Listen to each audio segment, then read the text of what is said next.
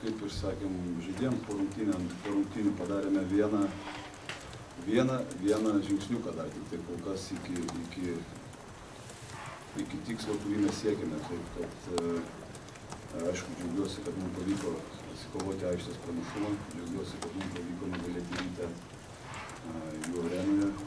Aišku, truputėlį gaila, kad ta pergalė pa- pareikalavo ne tik daug fizinių jėgų, tai tai yra natūralu, aišku, bet iškrito net trys mūsų pagrindiniai žaidėjai, ypatingai du dideli mūsų žaidėjai iškrito, bet turime kelias porą dienų, porą dienų atsistatymui. Nežinau, pažiūrėsim, ką, ką, ką daktarai pasakys, bet manau ir tikiuosi ir viliuosi, kad mes juos turėsime šios žaidėjus ir penktadienį. Noriu padėkoti vyram už, už, už kovą, už, už darbą, už, ypatingai už darbą gynybai. Tikrai momentai šiandien e, vyrai kovėsi, kai sakyti, ir rusiškai įsireikščiau ir za tavo parnį.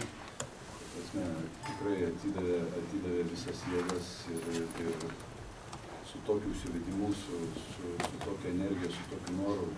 Tai yra, yra toks žaidimas, ta ta prasme, toks žaidimas, tokios emocijos, kokį mes treneriai džiaugiamės matydami. Ir aišku, dar kartą noriu pasveikinti savo vyrus, bet kaip ir minėjau pradžioj, yra padarytas tik tai vienas žingsnis, tik tai vienas iki tikslo, kurį mes norime šį sezoną pasiekti. O kas atsitiko Watsonui? Tai Stipriai pakirto.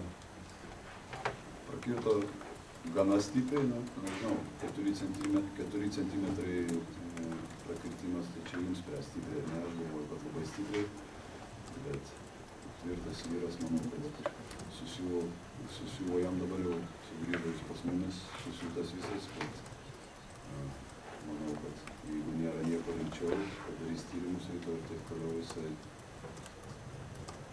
manau, kad žais. Tikiuosi, viliuosi. O Brauno trauma?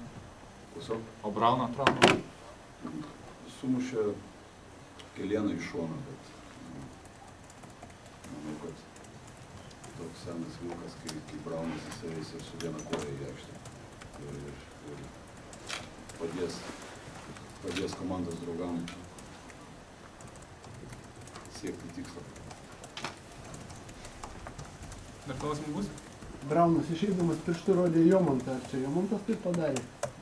Aš nelabai matau, kas ką rodo pirštų ir į ką tai čia, prasme, jūs jo papasakot, nes aš, aš, aš nežinau, nežinau, aš manau tikrai, kad e, tai nieks nieko nedaro ir specialiai tikiuosi.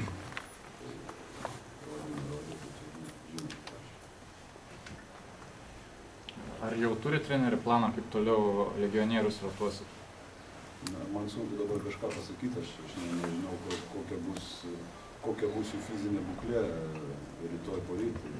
Taip, mes dar, dar turime du jaunus 20 mečių žaidėjus, e, kuriuos galime panaudoti ir mes būtinai juos naudosime. Jie, dirba, jie ruošiasi su komanda, nes serija, gali, serija yra neišvengiamų rungtynių, jie kada gali būti reikalingi.